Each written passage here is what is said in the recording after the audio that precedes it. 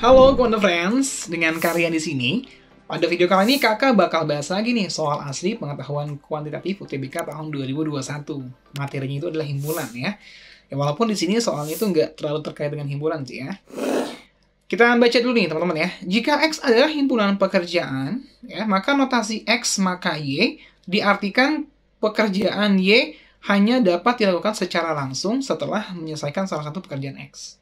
Jadi ini ke lebih ke logika ya teman-teman ya. Walaupun ada sedikit materi himpunannya itu ini ya teman-teman ya. Jadi di sini ada kurung kurawal yang kosong. Nah ini artinya himpunan kosong teman-teman. Yang artinya di sini untuk mengerjakan pekerjaan P1 itu nggak perlu ngerjain pekerjaan sebelumnya. Jadi ibarat kata ini P1 itu adalah pekerjaan pertama. P2 pun seperti itu karena di sini himpunan kosong ya. Artinya si P2 ini bisa dikerjakan langsung tanpa harus mengerjakan pekerjaan sebelumnya. Ya sesuai sama himpunan ini ya. Kakak baca lagi nih ya, supaya masih ini. X maka Y itu diartikan pekerjaannya hanya dapat dilakukan secara langsung setelah menyelesaikan salah satu ya. Salah satu pekerjaan X. Ya, berarti ini. P3 itu bisa dikerjakan kalau P1 udah dikerjakan atau P2 ya, bukan keduanya. Karena di sini salah satu.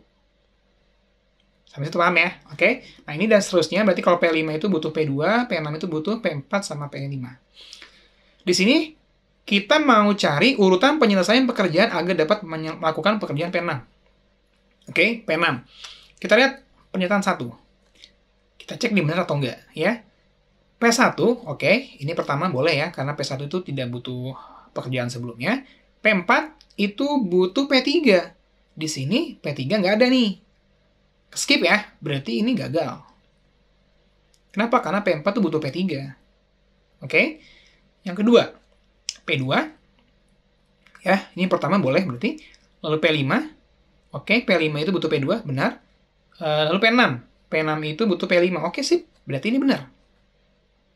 Easy kan ya? Nah, kita yang bawa ini nggak perlu lagi ngecek, teman-teman. Karena kalau misalkan satu salah, dua benar, kan ya, satu salah ya, berarti kan ini salah. Berarti pilihan A salah, pilihan B salah, pilihan E salah. Kemungkinannya apa? Yang C. Kenapa? Karena dua benar. Gitu. Ya, jadi jawabannya apa? yang yang C ini maksudnya bukan ini ya. Satunya salah gitu ya. Nah, jawabannya yang C. Seperti itu. Oke, easy kan ya? Jadi walaupun bacaannya panjang, tapi sebenarnya yang ngerjainnya simple gitu. Jadi jangan takut duluan teman-teman ya. Oke, sampai sini aja video kali ini ya. Nantikan video kalian selanjutnya. Bye-bye.